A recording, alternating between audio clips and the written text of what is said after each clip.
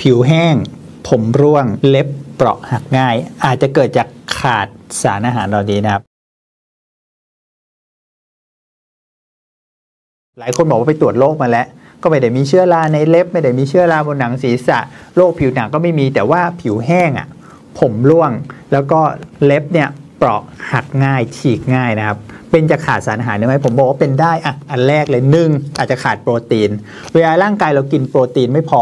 ร่างกายจะเอาโปรตีนเนี่ยไปซ่อมแซมอวัยวะภายในก่อน เพราะอวัยวะภายในมันขาดไม่ได้ถูกไหมร่างกายก็จะเอาโปรตีนเนี่ยไปซ่อมแซมที่ผิวที่ผมที่เล็บเนี่ยน้อยลงดังนั้น ใครก็ตามที่ยังไม่เคยคำนวณโปรตีนเลย ผมแนะนำว่าถ้าออกกำลังกายทุกวันต้องกินโปรตีน 1 กรัม ต่อน้ำหนักตัว 1 กิโลกรัมต่อวัน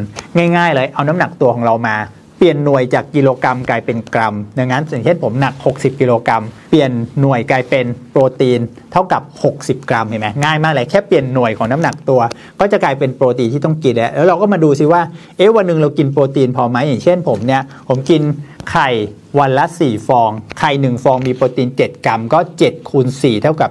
28 ดังนั้น ผมได้โปรตีนจากไข่และ 28 กรัม ผมได้โปรตีนจากกับข้าวทั้ง 3 มื้อรวมกันอีกประมาณ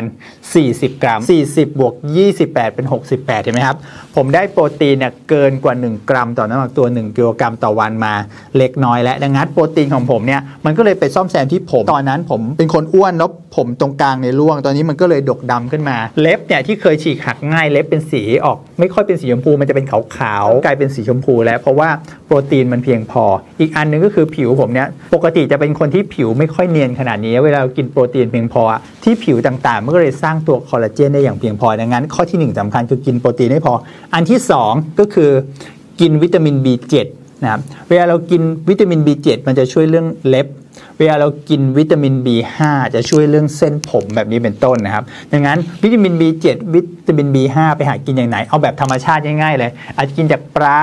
ไข่แดง เนื้อสัตว์กล้วย ธัญพืช มันฝรั่งบรอกโคลีแครอทมะเขือเทศ เห็ดกระลำดอกอะโวคาโดดังนั้นใครก็ตามรู้สึกว่าเอ๊ะเป็นคนไม่ชอบทำกับข้าวอะกินอะไรดีนะ ผมแนะนำว่าง่าย ๆ ครับ ไข่แดงใช่ไหมก็เอาไปต้มก็ได้ ไปทอดก็ได้อะกล้วยใช่ไหมก็ซื้อมาติดบ้านไว้ กินเป็นอะโวคาโดรอให้สุกราดน้ำผึ้งนิดๆกินทุกวันตอนเช้าก็ได้นะเห็นสังเกตไหมครับว่าสำหรับคนที่ทำกับข้าวไม่เป็นนะครับแล้วหากินยากก็กินของแบบนี้ที่มันสามารถทำเองที่บ้านง่าย ๆ โดยที่ไม่ต้องใช้ฝีมือนะครับดังนั้นโปรตีนกินให้พอ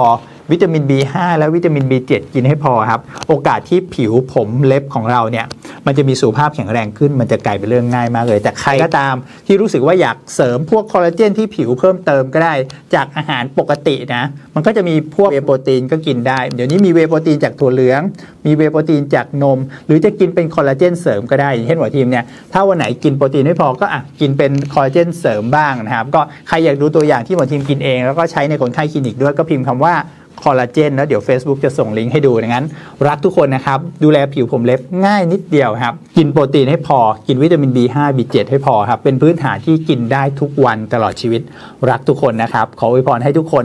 สุขภาพแข็งแรง หล่อและสวยเพื่อชาติด้วยกันครับ สวัสดีครับ